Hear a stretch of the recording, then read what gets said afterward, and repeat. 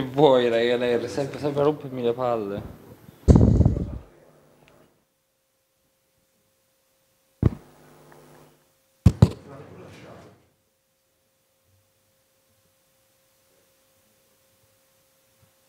Ah, aspetta, ah, ok, perciò rimani comunque qui, giusto? Non muovi, non ti sposti.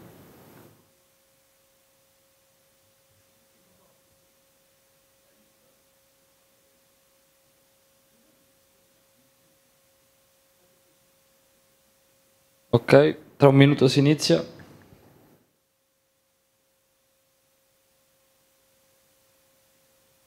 Chiama questa sala? Sala 1, dico. Scusa? La 1.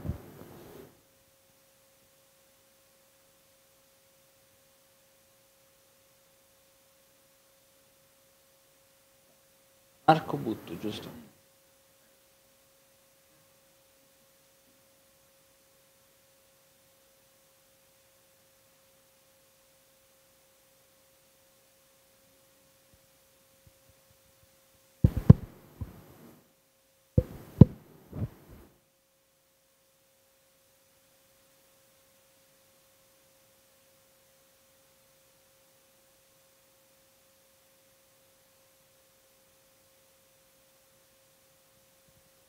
Buongiorno e benvenuti in Track 1.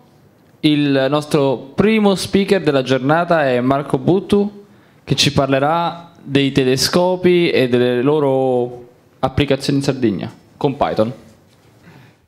Grazie. Grazie per essere venuti a quest'ora innanzitutto. Allora, mi chiamo Marco Buttu e lavoro per l'Istituto Nazionale di Astrofisica, che è un ente pubblico che fa ricerca scientifica eh, per l'appunto nel campo dell'astrofisica. Non sono astronomo, ma sono un ingegnere elettronico e mi occupo di sviluppo software per il Sardinia Radio Telescope. Non so quanti di voi sanno cos'è un radiotelescopio. E due siamo praticamente alla metà. Okay.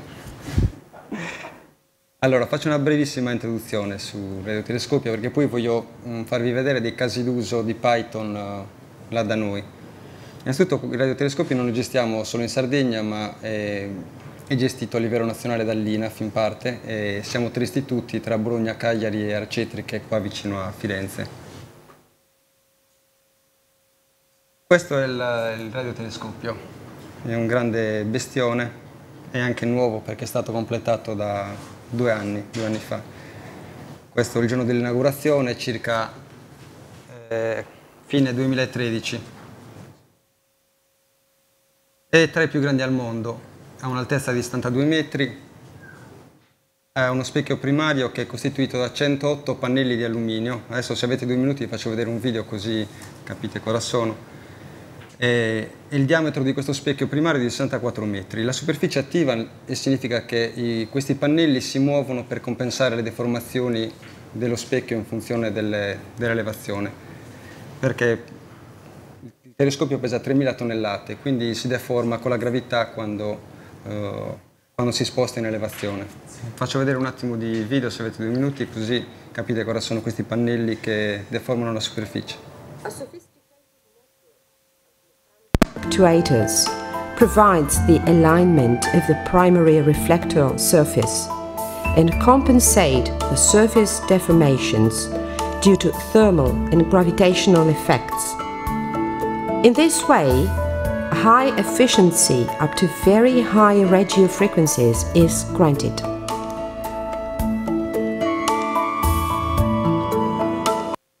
E credo si sia capito. E quindi ci sono 108 di questi pannelli, è una caratteristica abbastanza importante. C'è anche un altro radiotelescopio in Sicilia che è gemello di questo, sempre, utilizza sempre lo stesso criterio con la superficie attiva che eh, diciamo, tiene costante la superficie col variare dell'elevazione. È il più moderno in Europa, eh, fa movimenti di precisione sino a un 10 millesimo di grado, eh, poi abbiamo della componentistica all'avanguardia sia dal punto di vista elettronico che meccanico, è tutto remotizzato e, e abbiamo dei dispositivi di acquisizione digitale che sono praticamente allo stato dell'arte poi è stato completato nel 2012. stato collaudato meccanicamente nel 2012. Un po' di pubblicità perché ha contribuito ai costi il Ministero dell'Istruzione, la Regione Autonoma della Sardegna, principalmente poi l'Agenzia Spaziale Italiana. Come vi ho detto è gestito dall'Osservatorio Astronomico di Cagliari, dall'Istituto di Radioastronomia di Bologna e dall'Osservatorio Astrofisico di Arcetri. Ed è in corso la, la validazione scientifica. Cosa significa? Eh, sostanzialmente all'INAF siamo, diciamo per semplificare, un, una parte di tecnici e una parte di ricercatori. Eh, quando ci è stato consegnato il radiotelescopio a fine 2012 è iniziata la validazione tecnica, eh, significa che noi abbiamo testato e validato tutta la parte di nostra competenza che andava da, dall'elettronica sino a tutto il software, da, dal basso livello sino al software di, di alto livello abbiamo impiegato circa un anno e adesso è in corso la, la, la validazione scientifica, significa che la parte eh, scientifica dell'INAF sta eh, verificando che il, radiotelesco il radiotelescopio si comporti come ci si aspetta dal punto di vista scientifico delle prestazioni. Eh, vi faccio vedere brevemente come funziona. Eh, si muove innanzitutto in azimuth e in elevazione. Eh, non so se sa sapete cosa voglio dire. In elevazione significa che eh, il grande specchio si, si, muove così in azimuth che ruota, quindi copre diciamo, tutto il cielo al di sopra di 5 gradi di elevazione.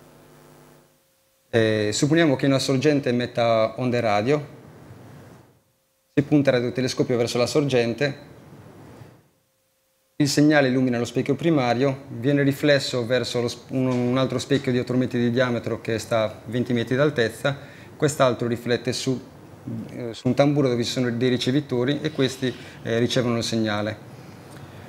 Oltre questo, questo tamburo ha una, uno spazio vuoto dove non c'è un ricevitore, quindi quando selezioni quella posizione il segnale va a finire giù su un'altra eh, un stanza tre, di tre piani passa un altro specchio su un terzo specchio e questo qua lo riflette su uno di altri quattro specchi per selezionare un altro ricevitore. Questo sostanzialmente è il funzionamento del radiotelescopio. Eh, perché serve? Serve per fare ricerca scientifica principalmente. Eh, lo usiamo soprattutto per le pulsar, perché abbiamo, le, le, pulsar sono degli oggetti molto particolari, carini, che vengono utilizzati anche per verificare dal punto di vista sperimentale la relatività generale Abbiamo un gruppo molto forte a Cagliari, viene utilizzato principalmente per le pulsar adesso. Eh, per scopi più pratici sono geodinamica e radar astronomia. Ecco, iniziamo a parlare di software. Eh, che software sviluppiamo al radiotelescopio, cioè per il radiotelescopio? Eh, diversi tipi di software. Mm, innanzitutto facciamo anche hardware. Facciamo hardware perché abbiamo dispositivi che sono molto particolari come ricevitori che devono lavorare a temperature bassissime, 200, meno 250 gradi, quindi eh, là diciamo che si lavora di esperienza e si realizza tutto a manina. Si fa un tuning alla fine, sono dispositivi costosi, delicati, costano centinaia di migliaia di euro e in questo momento ne abbiamo tre a radiotelescopio. Poi eh, sviluppiamo il firmware per per, per, le schede, eh, le schede, di controllo, protocolli di comunicazione, sviluppiamo in, in HDL, eh, che non so se sapete sono quei linguaggi che ti permettono di programmare dell'hardware, come Verilog, VHDL. Questo è quello che facciamo a basso livello. A alto livello ci occupiamo del controllo della, della movimentazione del radiotelescopio, sia diciamo, dello specchio primario che di tutti gli altri eh, servosistemi che, che, muovendosi indirizzano il raggio diciamo, sul ricevitore selezionato. Eh, controlliamo la superficie attiva, che è la superficie dello specchio primario che avete visto che ha quei pannelli, i sistemi di acquisizione digi digitale, poi abbiamo un sistema di metrologia, eh, dobbiamo controllare le interferenze, poi lavoriamo su interfacce grafiche e la gestione dell'osservazione che sarebbe eh, il software con cui si interfaccia direttamente l'astronomo che poi gestisce tutta l'osservazione. E poi vario, vari software di altro tipo, a partire da quelli elementi, dal sito web e dal sistema di archiviazione che è ancora in fase di studio, altre cose che vedremo pian piano.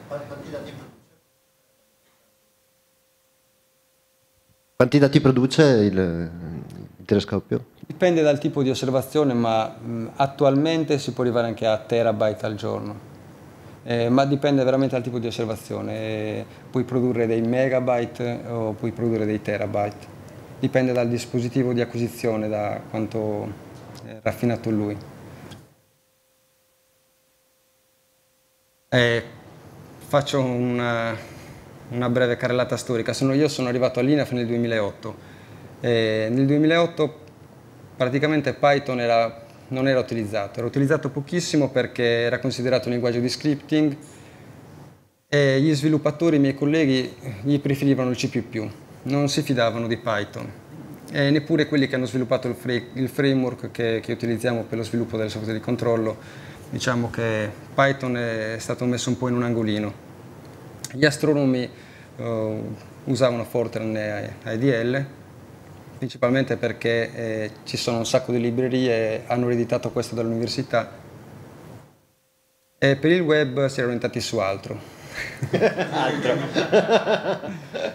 e due mesi dopo che iniziai a lavorare fui mandato per fare un po' di training a Bologna e feci una presentazione su Python di due ore ho detto ok, sicuramente li, convinco, li convinco mi faranno programmare in Python e probabilmente anche loro. Invece solamente C++ per il resto della...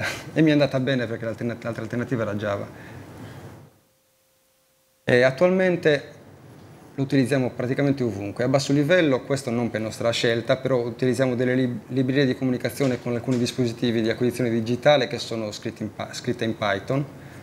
Tutto il resto per nostra scelta, cioè il, il controllo dell'antenna, eh, utilizziamo Python diciamo, per sviluppare eh, dei, per modellare i, i dispositivi hardware di basso livello eh, per implementare dei client del nostro sistema di, di controllo, poi ve, ve, lo spiego adesso in un attimo, ancora sto parlando, per, per eseguire test delle interfacce e poi forse per realizzare le PI del sistema di controllo, anzi non forse ma probabilmente.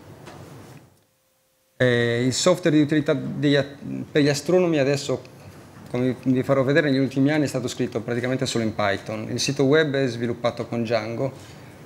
Eh, per quanto riguarda l'interfaccia per, per, gli utenti, il sistema di archiviazione e via dicendo, anche qua siamo orientati con Python. Adesso vi faccio vedere perché è cambiato il modo di vedere le cose. Allora, vi parlo del sistema di controllo.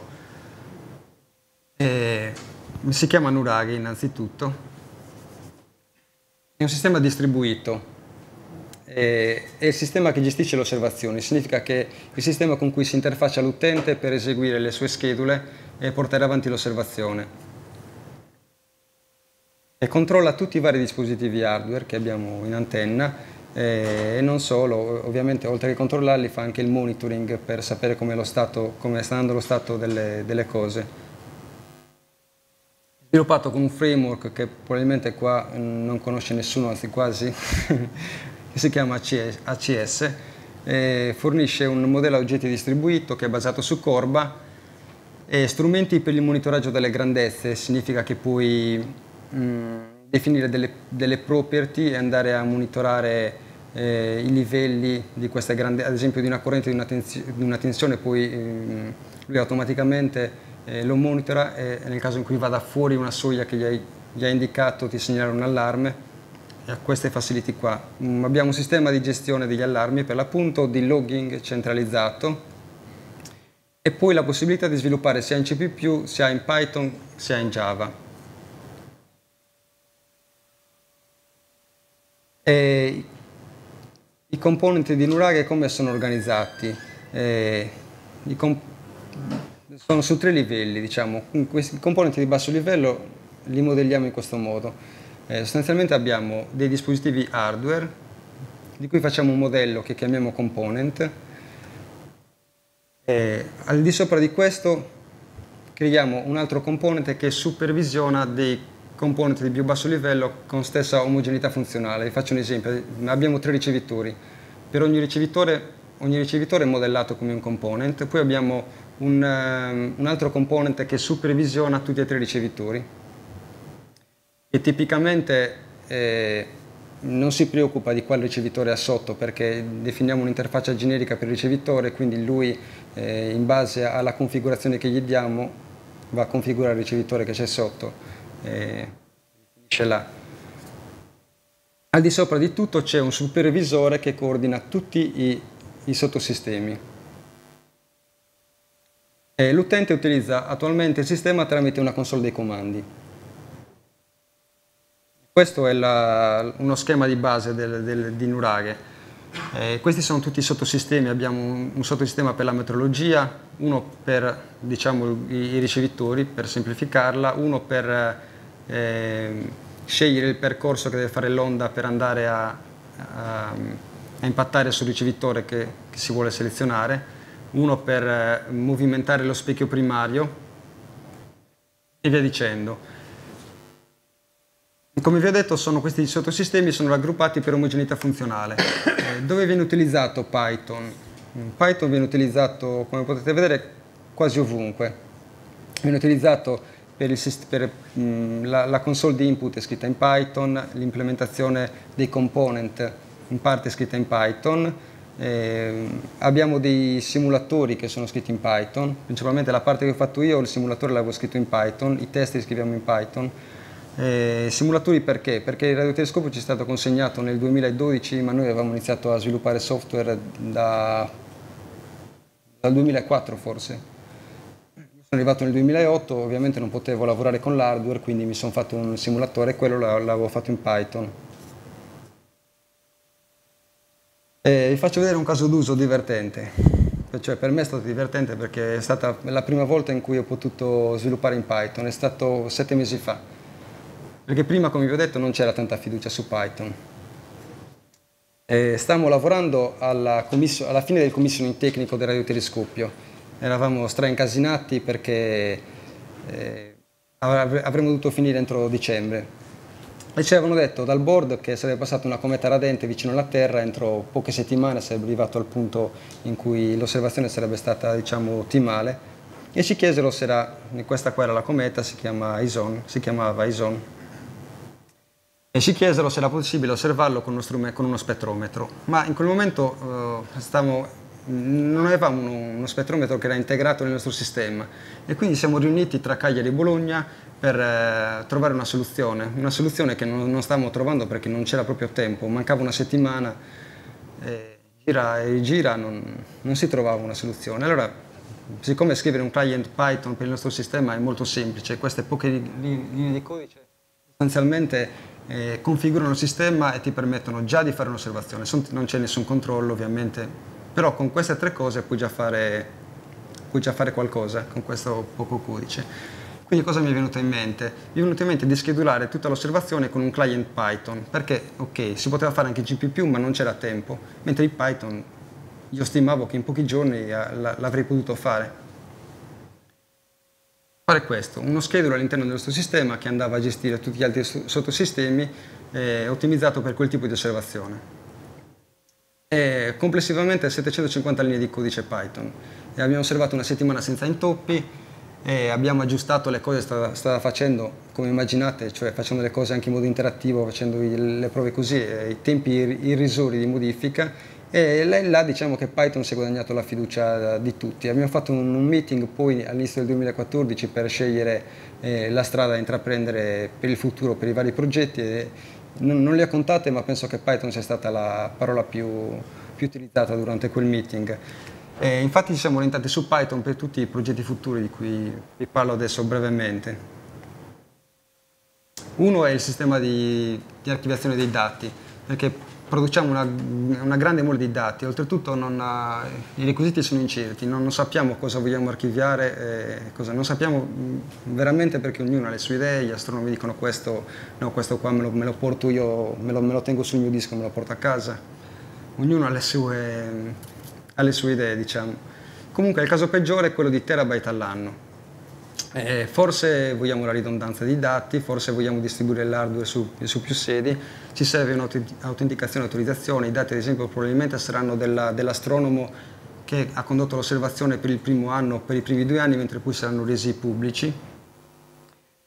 E, e soprattutto vorremmo fare computazione sui dati, nel senso un dato, un'osservazione di un terabyte, eh, l'astronomo vorrebbe prima magari fare un quick look prima di potersela scaricare, e, quindi vorremmo poter fare delle computazioni anche customizzate da remoto, l'utente vede il risultato e poi decide se fare una richiesta oppure no.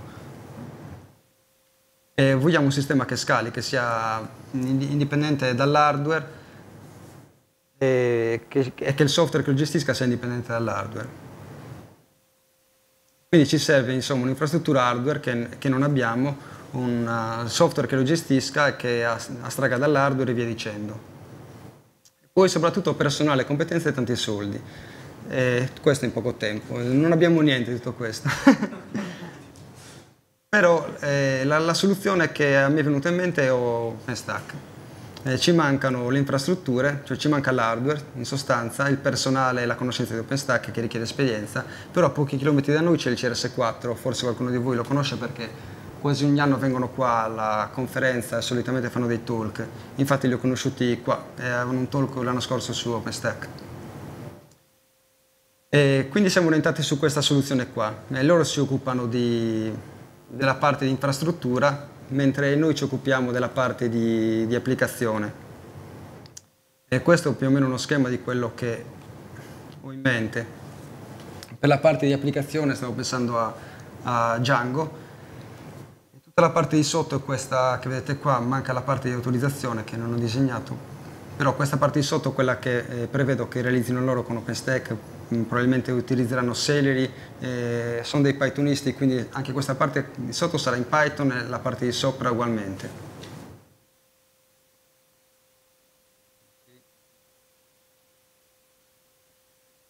Eh, un, un'altra cosa, per dialogare con Nuraghe, Nuraghe come vi ho detto il sistema di controllo, per dialogare, per dialogare con Nuraghe attualmente è necessario installare questo framework che si chiama ACS, questo framework è poco documentato, quel poco di documentazione che c'è risale al 2004, quindi è meglio non vederla perché confonde. E la libreria è ferma a Python 2.5 e, e soprattutto ci sono tanti bug, il codice è scritto, se posso dirlo, coi piedi, e ti scoraggia insomma a sviluppare in Python con ACS per avere una release note ti, ti, devi mettere in ginocchio e chiederla in ginocchio perché eh, non è disponibile pubblicamente.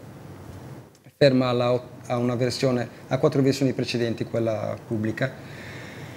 E quindi abbiamo scritto una marea di codice che è codice lega, è ACS Legacy, però vorremmo limitare questo e vorremmo uh, soprattutto che nelle applicazioni scritte da ora in avanti, perché anche gli astronomi scrivono le loro applicazioni, i loro client per gestire il back-end dell'antenna e non vorremmo che, che utilizzassero ACS perché eh, innanzitutto ci si perde tanto tanto tempo per eh, studiarlo perché non è documentato e due perché ti vincola un certo sistema operativo, ti vincola a utilizzare le tecnologie che Python 2.5 ad esempio e via discorrendo.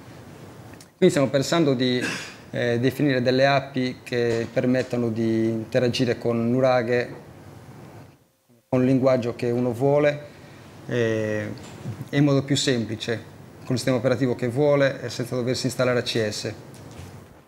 Per questo stiamo pensando di utilizzare Celery per dialogare con Nuraghe, e pubblicare gli stati mh, con Socket.io, probabilmente definire delle, delle API REST e poi sopra di tutto ci sarà uh, le API REST mi sto orientando su, ho visto il talk ieri su, su IVE, e, ce n'era anche uno su Django, quindi credo che saranno quelli gli strumenti, i tool, e sopra eh, che gestisce tutto, sia la gestione di proposal, cioè eh, proposal intendo quando, la, quando, il radiotelescopio sarà aperto alla comunità scientifica eh, verranno sottomessi dei proposal per avere del tempo di osservazione e quello ne sono abbastanza orientato su Django, eh, sia la gestione dell'osservazione in sé, cioè eh, l'interfaccia con cui l'utente gestisce l'osservazione sempre tramite Django e anche il browsing dell'archivio dati sempre con Django, al di sopra di tutto questo. Brevemente vi dico che mentre prima si utilizzava per, eh, gli astronomi utilizzavano Fortran e IDL, in questi ultimi tre anni i software che sono stati sviluppati sono tutti scritti in Python. Sono troppo contento di questo.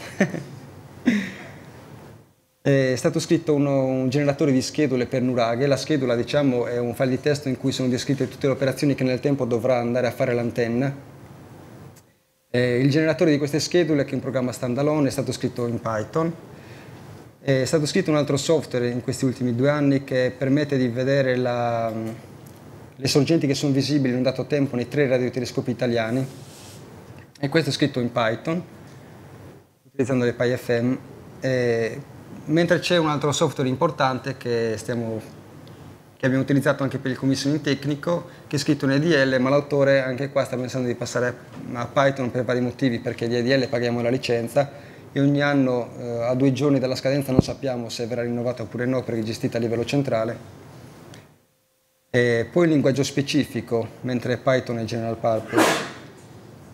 E poi soprattutto adesso c'è una, una libreria mh, AstroPy eh, che diciamo sopperisce ai limiti che, che c'erano prima, mentre prima IDL era quasi una scelta forzata, adesso c'è AstroPy che ha una, una 0.3, ma io sono andato a vedere, ho visto il sito, ho visto anche il codice e mi sembra che è una libreria veramente ben fatta e sicuramente sarà il futuro in questo settore.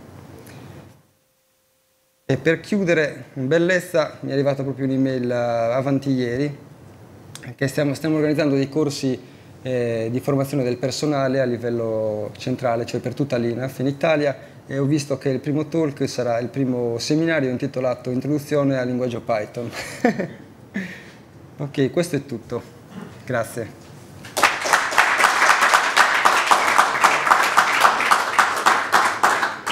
Grazie tantissimo Marco. E ci sono delle domande? Su tutta la parte che dicevi ancora in sviluppo, cioè tutta la parte di, di pipeline, di data analisi e quindi in storage e, e, poi la parte di, di scheduling del, delle osservazioni, uno avrebbe pensato che tutta quella parte poteva essere in parte riutilizzata da ALMA, l'altro grande radiotelescopio che utilizza lo stesso ACS. Non riuscite a fare software reuse di quella parte? Allora, il software che facciamo eh, lo utilizziamo ma sui tre radiotelescopi. Eh, cioè questo in realtà io vi ho parlato di SRT, ma è un software che eh, gira sia a Cagliari che sul radiotelescopio che abbiamo a Medicina. Eh, è già difficile farlo abbastanza generico per, eh, diciamo, per farlo girare su tutti e tre i radiotelescopi. Anche la parte di gestione dell'osservazione credo che sia la mia idea era questa, però ancora non ci abbiamo lavorato, ma credo che sia già una, un obiettivo duro riuscire a farlo abbastanza generico per gestire tutti e tre i radiotelescopi. No, quello di Alma... Eh, no, poi una filosofia diversa perché eh, noi vorremmo gestirlo da remoto, cioè non, non, non, so se fra qualche anno il telescopio verrà gestito da remoto, quindi vorrei fare, eh, stiamo pensando a un'interfaccia che sia un'interfaccia web sostanzialmente, mentre loro utilizzano eh, delle applicazioni desktop che in parte abbiamo anche utilizzato durante il commissioning tecnico hai potuto vedere sono, sono comunque utili perché le hai a disposizione, ti permettono di vedere tutti i componenti che hai attivi, navigarci dentro, uh, però la gestione dell'osservazione ha uno scopo diverso diciamo da questo. Ci sono altre domande? Per quanto riguarda lo scheduling, um, hai dato un'occhiata, ci sono applicazioni, quelle utilizzate in campo spaziale, del tipo Castor oppure Europa, secondo me tutta quella parte lì, cioè diciamo la parte mh, di, di, di, emissioni spaziali in particolare, ha sviluppato una serie di scheduler che sono già fatti molto molto bene e secondo me cercare di riutilizzarli anche in altri campi può essere interessante, quindi vabbè giusto come, come Flash, eh, Europa e Castor, secondo me vale la pena dargli un'occhiata. Noi stiamo cercando di riutilizzarli per i progetti che stiamo facendo e cioè, Europa è uno dei pochissimi esistenti utilizzati dalla NASA per esempio e che sono disponibili open source per cui uno può prenderli, cercare di utilizzarli e già dentro hanno vabbè, sono 30 anni di esperienza sulle missioni spaziali che possono secondo me essere facilmente, vabbè, noi speriamo di riuscire a riutilizzarli però può essere utile secondo me. In realtà può darsi che sia stato fatto perché lo schedule l'ha, l'ha sviluppato un mio collega di Bologna già quattro anni prima che io arrivassi e non so su cosa si è basato Comunque è una parte del sistema di controllo che funziona benissimo. E abbiamo tempo per un'ultima domanda?